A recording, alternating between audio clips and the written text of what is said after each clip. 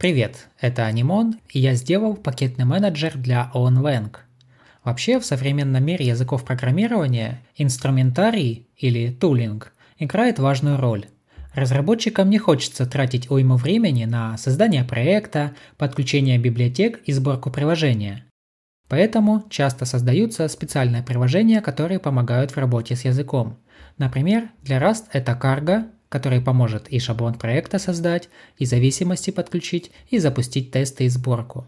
Для JavaScript это NPM, Yarn, PNPM, Parcel, и пока я это перечислял, наверняка что-то еще вышло. Ну и для Python это PIP. В моем случае это пакетный менеджер OVN. Написан он на самом OnLang и умеет создавать проект, own init,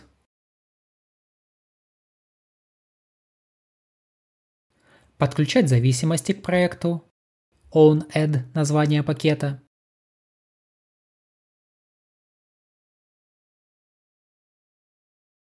показывать примеры использования пакета, own_usage название пакета, устанавливать зависимости из файла проекта onPackage.json, own_install, запускать проект, own_run, и запускать скрипт из проекта.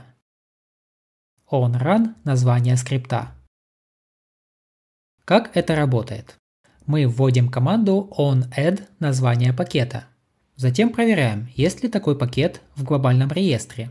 Если есть, достаем дополнительную информацию о пакете. Это версия для проверки совместимости, а также ссылки на скачивание файлов. Затем скачиваем эти файлы и кладем в папку ownModels название пакета. Если же пакета нет в глобальном реестре, то показываем соответствующую ошибку. Что здесь не так? Обращение к глобальному реестру – это отдельный HTTP запрос, и не хотелось бы его делать каждый раз при установке пакета. Почему бы нам не хранить локальную копию реестра?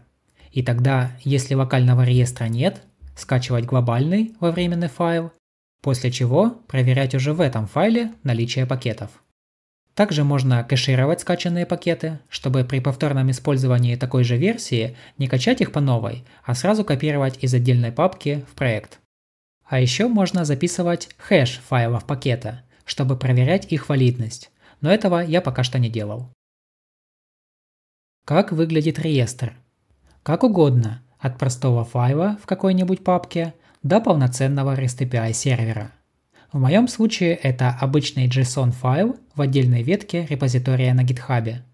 Я по прямой ссылке запрашиваю его содержимое и получаю результат.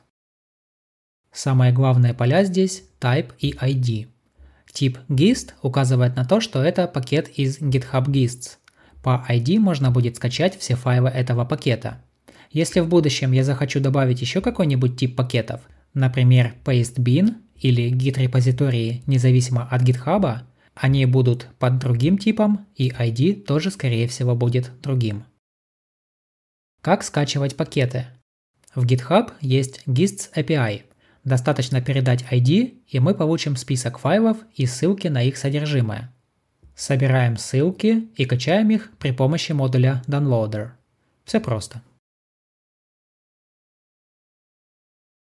Вот пример одного из пакетов, который используется для упрощения доступа к OpenAI API. А вот и специальный файл .usage.own, который используется для показа примеров использования пакета. Исходный код пакетного менеджера есть в последних комитах проекта. Для лучшего понимания, что зачем вызывается, я включу логирование в режиме отладки. Затем создам новый проект и добавлю зависимость. А на этом все. Не забудьте поставить лайк и подписаться, если этого почему-то еще не сделали. До новых встреч!